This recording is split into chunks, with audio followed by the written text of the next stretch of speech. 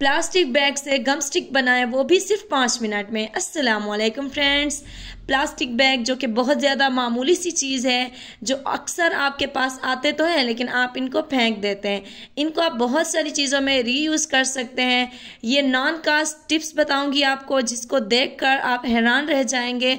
आप जब इसको ट्राई करेंगे तो इन ज़रूर मुझे दुआएँ देंगे, क्योंकि जब भी आप स्टिक्स बाय करते हैं बाज़ार से तो वो बहुत ज़्यादा महँगी मिलती हैं और बहुत जल्दी ख़त्म भी हो जाती हैं।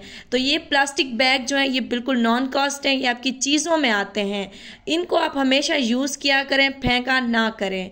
तो सबसे पहले हमने यहाँ पर दो प्लास्टिक बैग ले लिए, इसको आपने इक्वल कर लेना है दोनों साइड से। उसके बाद ऊपर वाली और नीचे वाली साइड को आपने कट कर लेना है। इससे आप बहुत सारे और भी आइडियाज़ ले सकते हैं, और भी बहुत सारी चीज़ें इससे बना सकते हैं। इनको आप जलाया ना करें, जिस तरह जलाने से आलूदगी आती है पोलूशन आती है तो इससे भी आप अपने माहौल को बचा सकते हैं। इनको रीयूज़ करें, इनसे आइडियाज़ बनाएँ। दोनों साइडों से कट करने के बाद अब हमने इसकी फ़ोल्डिंग कर लेनी है। फ़ोल्डिंग उसी तरह करें जिस तरह मैं कर रही हूँ। इस तरह आपने इसकी टाइटली फ़ोल्डिंग कर लेनी है। दोस्तों, ये वो प्लास्टिक बैग हैं जिनको हम अपनी ज़बान में शापर भी कहते हैं। आप इसको अपनी लैंग्वेज में क्या कहते हैं, मुझे ज़रूर आपने बताना है। तो टाइटली आपने इसको फोल्ड कर लेना है और किसी भी चीज़ की इसमें ज़रूरत नहीं होगी। ऐसी चीज़ है जो दस पाँच में आपको बाज़ार से इजीली साथ में कोई शॉप है तो वहाँ से आप बाय कर सकते हैं।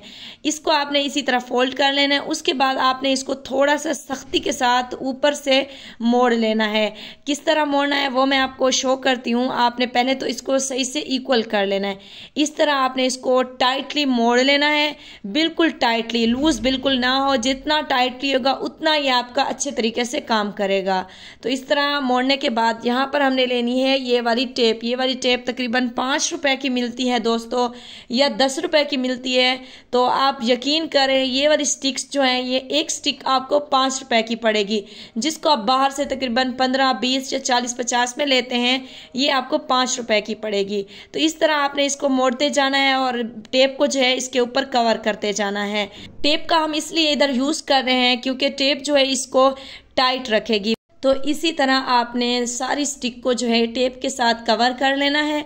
जितनी ज़्यादा टाइटली आप इसके ऊपर टेप लगाएँगे उतना ज़्यादा आपको अच्छा रिज़ल्ट मिलेगा।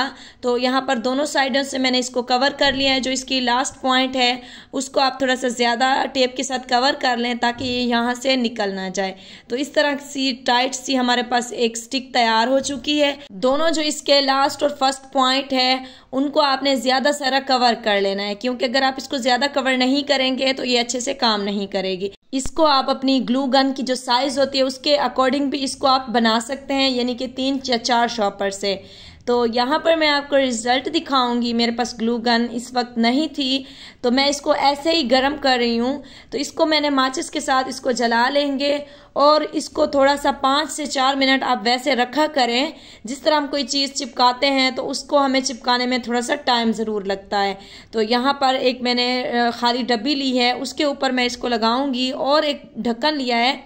इसको मैं चिपकाऊँगी, तकरीबन फाइव मिनट इसको लगेंगे और फाइव मिनट के बाद आप रिज़ल्ट चेक करें, ये लोहे की तरह चिपक गया है। इसी तरह आप अपनी बहुत सारी चीज़ों में इसको इस्तेमाल में ला सकते हैं और आप अपने बहुत सारे पैसे भी बचा सकते हैं, क्योंकि बाहर से जो स्टिक्स हैं, वो हमें बहुत ज़्यादा महँगी पड़ जाती हैं और स्टिक जो है, हमें बार बार ख़रीदनी पड़ती है।